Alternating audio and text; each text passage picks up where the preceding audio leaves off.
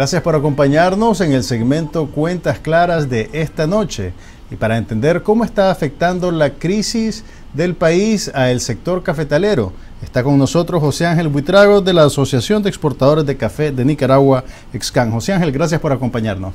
Muchas gracias, Juan Carlos. Gracias por tenerme acá.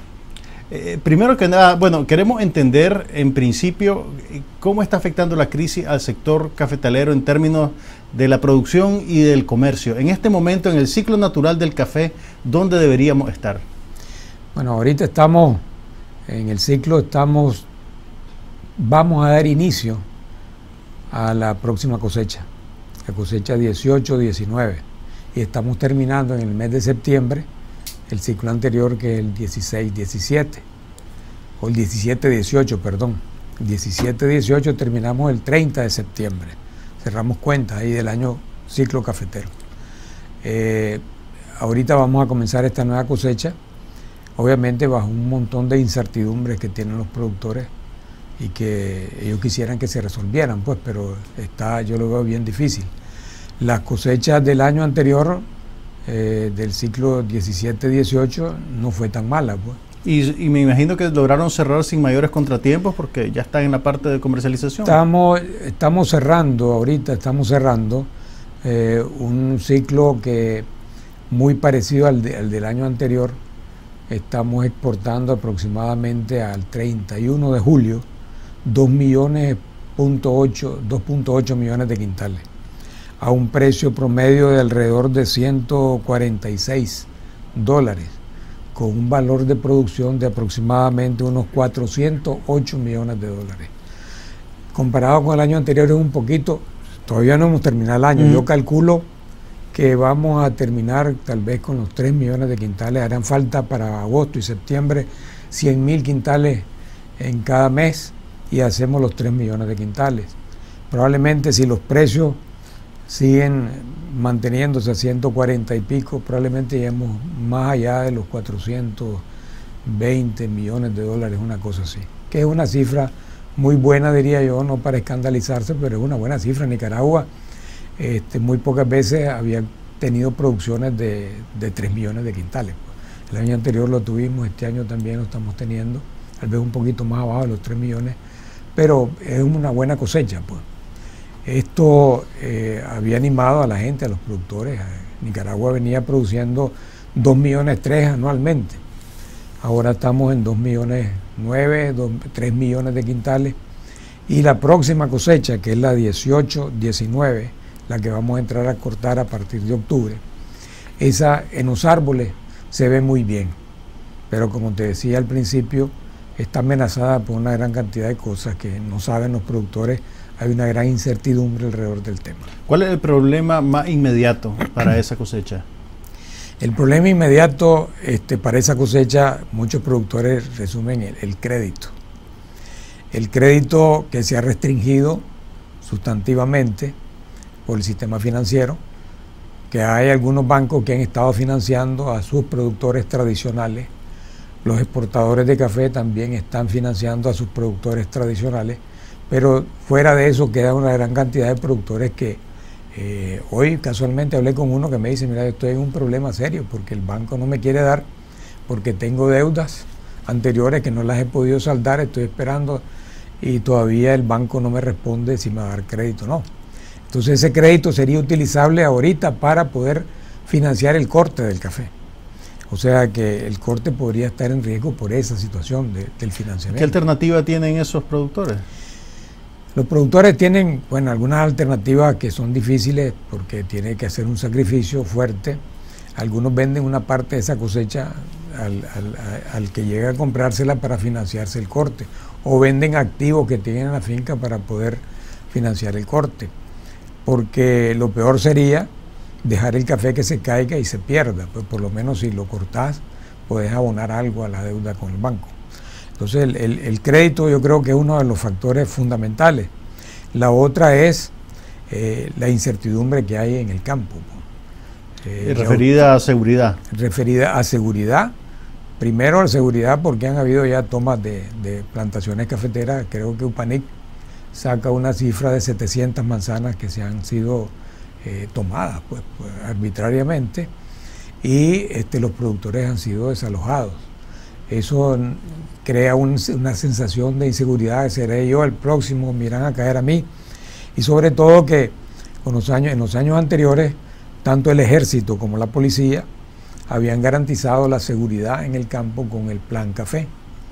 Ya a esta altura del año eh, ya se comenzaba a hablar de reuniones para tratar de coordinar la presencia de la policía y del ejército eh, para tratar de garantizar la cosecha, porque hay gente que se lleva y se mete y roba café, otros que roban planillas de gente que va a pagar planillas que son bastante buenas eh, en términos generales. Los bancos también mueven una gran cantidad de dinero, el comercio que se mueve durante esa época es bastante fuerte.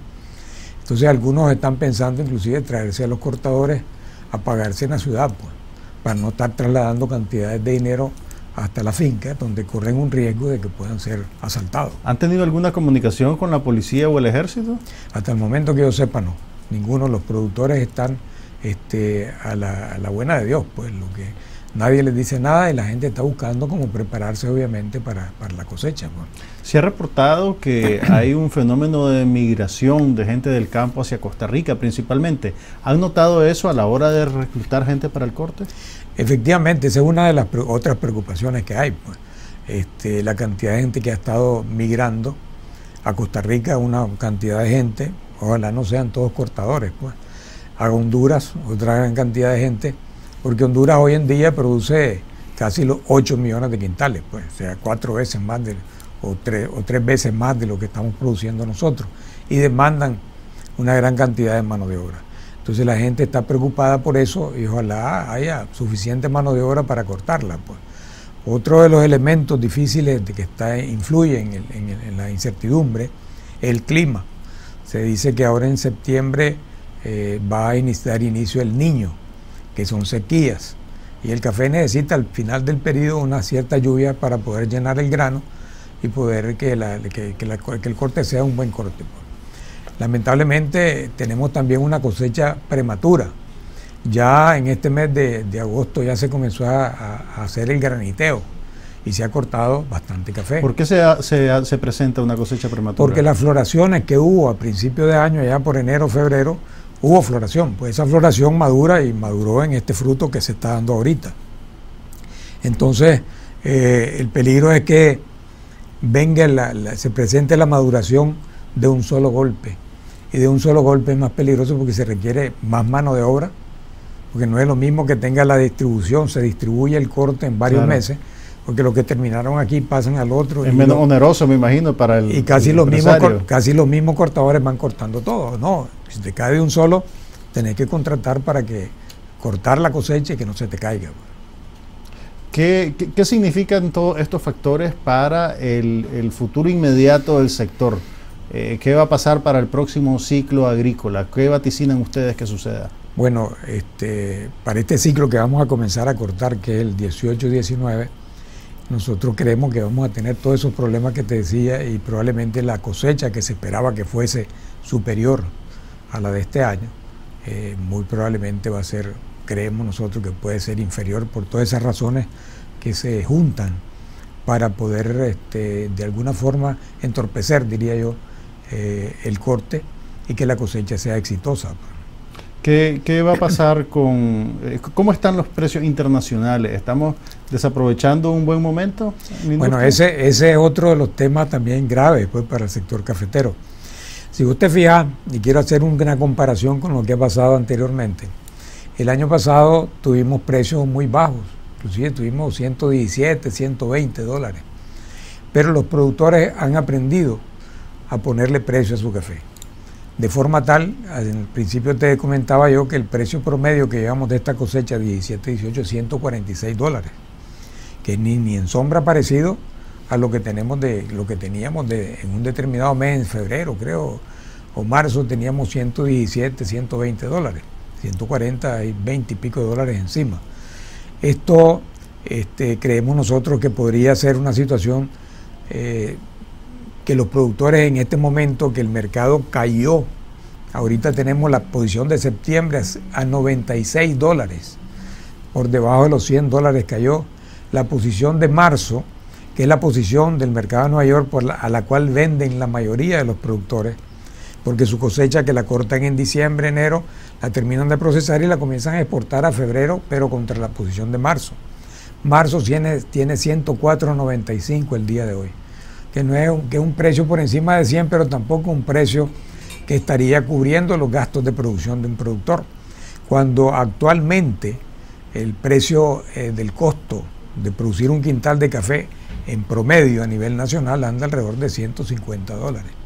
Aún a los 146 estamos perdiendo, ¿verdad? Y más a 96, 97, 104, nos harían falta todavía como 40 dólares para poder cubrir esa brecha entre el costo de producción y el precio al que se sí, para tener siquiera una ganancia. Entonces nosotros esperamos que el productor obviamente, yo les digo a todos ellos que todo lo que baja en algún momento tiene que volver a subir, porque el mercado no puede continuar bajando continuamente hasta llegar a no sabemos cuánto, pues el mercado tiene que detenerse y volver a levantar.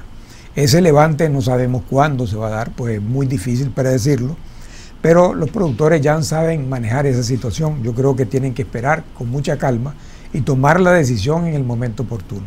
En el momento que vean que el mercado, y esta es una recomendación que le hago a todos ellos, en el momento que vean que el mercado comienza a repuntar, yo diría que no fijen toda la cosecha, pero que fijen una parte para ir reduciendo las diferencias.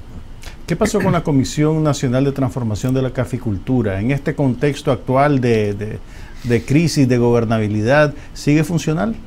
La comisión sigue funcionando, creo yo, pues porque nosotros que estábamos como miembros en la junta directiva de la CONATRADEC, como se conoce, este, renunciamos pues, a, las posiciones que teníamos por una decisión de, de, todo el sector privado de no estar de acuerdo, digamos, con lo que estaba viviendo el país, por lo tanto decidimos renunciar para que este, ejercer alguna presión, diría yo, en este, en este sentido.